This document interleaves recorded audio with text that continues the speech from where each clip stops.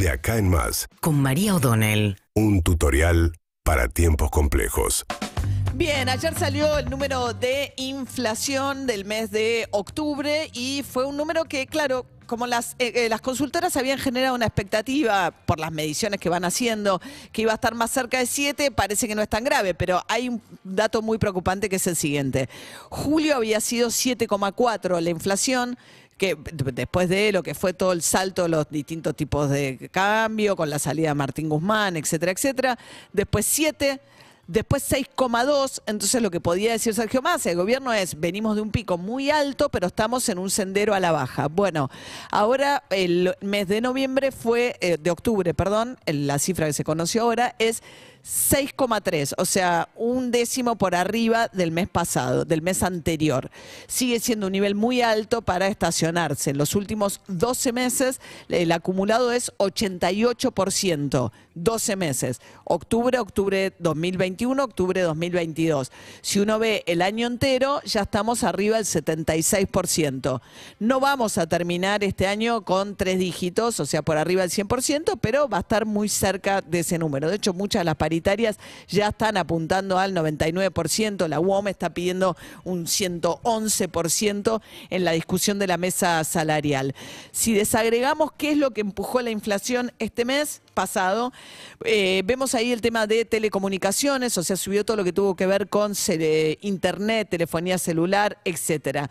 En segundo lugar, combustibles y los servicios públicos, porque claro, para no atrasar las tarifas y tratar de que no aumente el déficit en función de los subsidios e ir achicando los subsidios, empieza también, por un lado, le dan la suba a las, ele- a las distintas eh, compañías de servicios públicos, pero además empezó el proceso de quita de subsidios.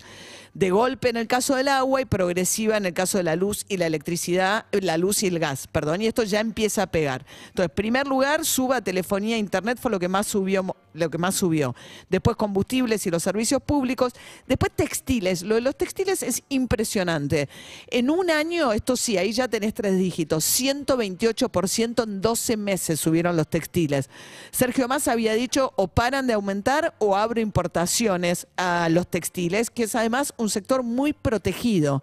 Y en el caso de alimentos y bebidas, que es el rubro más sensible sobre los sectores populares, lo que vemos es que subió a la par de la inflación. 6,2, 6,3 fue la inflación promedio. Con lo cual, en este número, la principal preocupación es que una tendencia que, vos decís, bueno, estaba con una inflación altísima, pero vengo a la baja, bueno, no es el caso con este número del mes de octubre.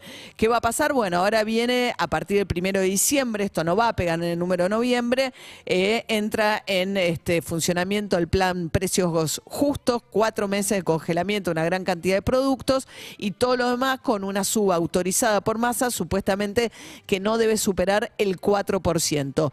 ¿Qué le ofrece a cambio? Acceso a los dólares para importar a las empresas que cumplan con este acuerdo. En un momento en el cual conseguir dólares para importar se está haciendo cada vez más complicado, hay una enorme cantidad de empresas, sobre todo las pequeñas, las pymes, las, que son proveedoras, por ejemplo, las autopartistas, que son proveedoras de las empresas automotrices, que están con muchas dificultades porque el Banco Central está administrando y en realidad ahora esto está muy centralizado más en el Ministerio de Economía, a quienes les permiten usar dólares para importar, pero el punto es que están administrando con mucho cuidado porque así todo el Banco Central en lo que va del mes lleva perdidos 900 millones de dólares. Ayer se anunció en el contexto de la gira Alberto Fernández por Indonesia, después de su reunión con el presidente Xi Jinping, que ahora el swap, este intercambio de monedas que tiene la Argentina con China, va a permitir que se incrementan 5 mil millones de dólares, que Massa va a poder hacer un poquito de contabilidad más ingeniosa cuando se siente con el Fondo Monetario y cumplir con las metas, lo que tiene que ver con las reservas que tiene acumuladas que tiene que acumular el Banco Central porque van a poder contarlas como reserva de libre disponibilidad o usarlas para los que importan cosas de China para que en lugar de pagarlo en dólares, pagarlo en la moneda china. Ahí el tema es que eh, hay un déficit comercial muy grande con China, de 8 mil millones de dólares, o sea que esto va a paliar una parte de ese déficit. Este fue el anuncio de las últimas horas. Eh, se prevé que, bueno, Alberto Fernández acaba de terminar también la reunión con eh, Sergio Massa y el resto de la comitiva que lo acompaña, con Cristalina Georgieva, la titular del fondo, que salió y dijo, prioridad número uno, que la Argentina siga en el sendero que le permita o que busque un sendero que, porque no es que está bajando la inflación, pero bajar la inflación. Y acabo de mirar los números de lo que es la última encuesta de la Universidad San Andrés, que viene haciendo en forma pareja las mediciones respecto a opinión pública. Y claro, aparece al tope, al tope, pero al tope de lo que tiene que ver con las prioridades de la principal preocupación de la opinión pública, inflación. Indistintamente si son votantes de Juntos por el Cambio del Frente de Todos. Preocupación número uno, inflación.